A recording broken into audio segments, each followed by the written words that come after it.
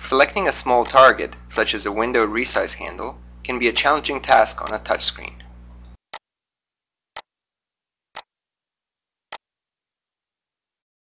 We have designed a set of dual finger interactions to help the users in selection of small targets.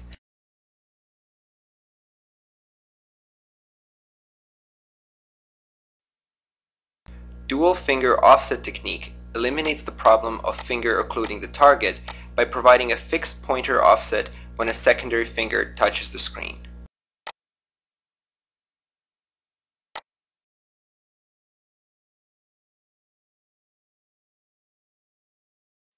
Dual finger midpoint technique places the cursor at the midway point between the two fingers. Cursor speed can be slowed down by keeping one finger stationary while moving the other.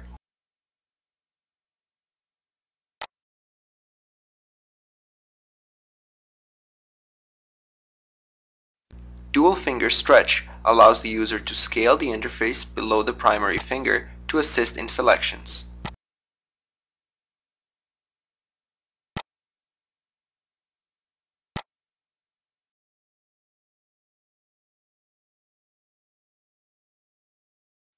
Dual Finger X menu gives the user several cursor speed reductions, ranging from normal, 4 times slower, 10 times slower, and completely frozen cursor.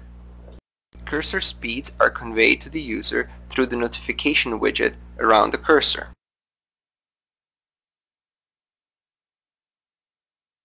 Cursor offset can be quickly removed by the snap option.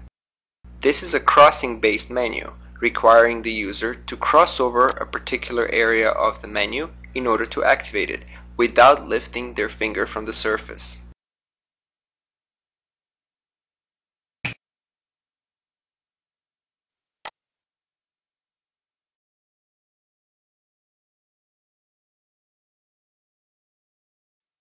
X menu also contains a simple magnification widget that shows magnified area under the cursor.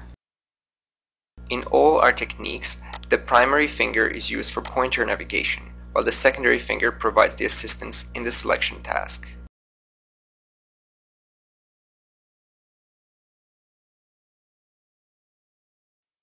Dual finger slider allows the user to specify the reduction of cursor speed by the distance between their fingers.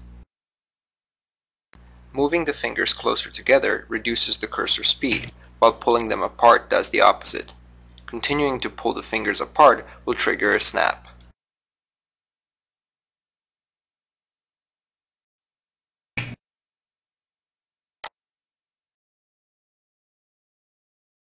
In all our dual finger interactions, we use Simpress clicking technique that requires the user to slightly rock their finger in order to click.